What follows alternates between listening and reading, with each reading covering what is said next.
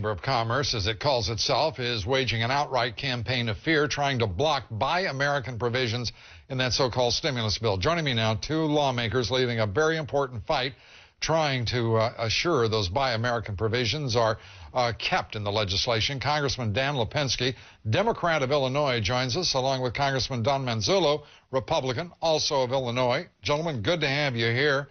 Uh, what is the effect of the Buy American provision that you've uh, that you've put forward?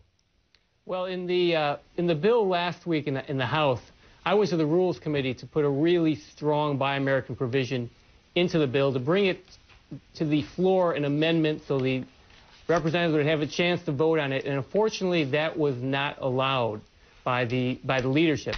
Uh, fortunately, the uh, the Senate has put some language in, mm-hmm. uh, but uh, I'm not convinced it's, it's strong enough, and uh, there's always a chance that it can be taken out. I, I, I would be satisfied with the enforcement of the present Buy American laws. And what Congressman Lipinski and I are trying to do is to impose transparency, to give the American companies an opportunity to bid, to get the procurement officers on their toes to realize that they have to follow these Buy American laws that are already on the books. Let me, let me. Uh, the Chamber of Commerce uh, has written a letter to the congressional leadership, which has already disavowed your efforts. Uh, Speaker Pelosi, naturally, uh, is calling it quote trade restrictive. They say, and I'd like to show this for all of our viewers. Quote, without sales abroad and access to inputs, many U.S. workers would be out of a job. Uh, now, I, I, think the Chamber of Commerce, gentlemen, I, I, well, I, rather than tell you what I think of them, you tell me what you think of that organization. Well, the Chamber certainly doesn't uh, do what's best for uh, middle-class Americans and American workers. We all know what their real purpose is to help the multinational corporations.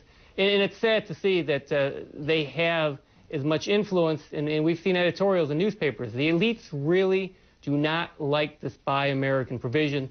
But I tell you, in my district, 90% of the people say, I don't understand why it would not be there. Congressman Manzullo, your reaction to the U.S. Chamber of Commerce. Well, I, I, don't think they really understand what we're trying to do. Let me give you an example. Sure, they, Congressman, Congressman, sure they do. They've been around.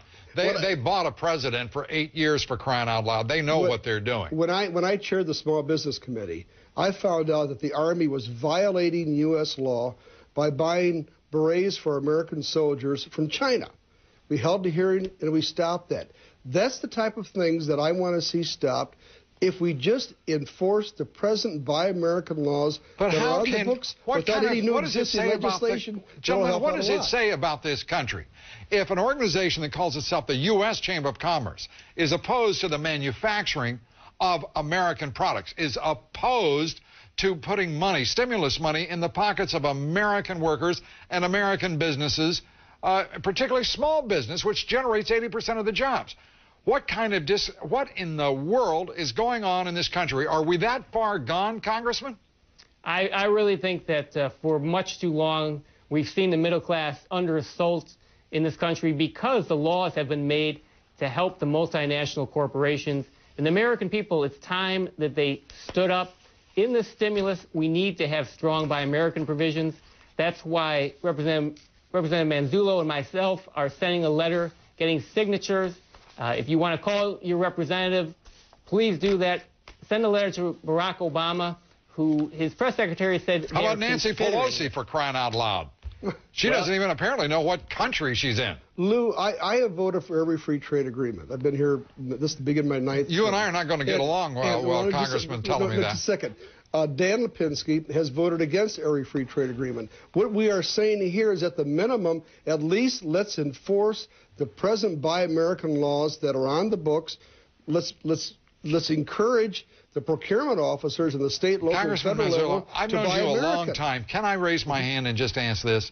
Can we move past the minimums in this country and start talking about the right thing to do, the intelligent, responsible thing to do, and start putting the country? I mean, you have the guts to go out and put that Buy American provision forward. Let's have the guts together to make it stick and mean something. What do you think of that? Well, that's what we did with, we've done that several times. I mean, for example, it's federal law that when a Defense. Department buys titanium, it has to John. be U.S. We stopped the importation of a lot of Russian titanium just by John. enforcing the laws that are on the books. Yeah, well, you left U.S. in Chamber of Commerce, didn't you? Well, I don't, you know. Don I- Manzullo, I- thank you for I being don't- with I don't rep- It's a joke. It's a joke, going out the Chamber Congressman. It's a bad joke, perhaps, but a joke. We appreciate it. Congressman Lipinski, we wish you both well and uh, you. applaud Thank your you. efforts, gentlemen. Thank you. Up at the top of the hour, Campbell Brown, no bias, no bull. Campbell, what are you working on? Well, Lou, we're going to hear much more of President Obama's uh.